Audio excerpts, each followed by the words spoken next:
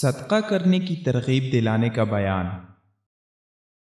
عن الحارثة بن وهب رضي الله عنه قال سمعت النبي صلى الله عليه وسلم يقول تصدقوا فإنه يأتي عليكم زمان يمشي الرجل بصدقته فلا يجد من يقبلها. يقول الرجل لو جئت بها بالأمس لقبلتها، فأما اليوم فلا حاجة لي بها.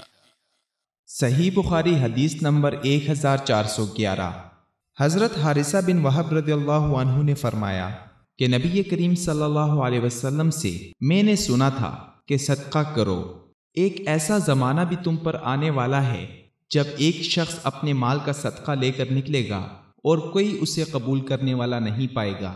جس کے پاس صدقہ لے کر جائے گا، وہ یہ جواب دے گا کہ اگر تم کل اسے لائے ہوتے تو میں قبول کر لیتا، آج تو مجھے اس کی ضرورت نہیں ہے۔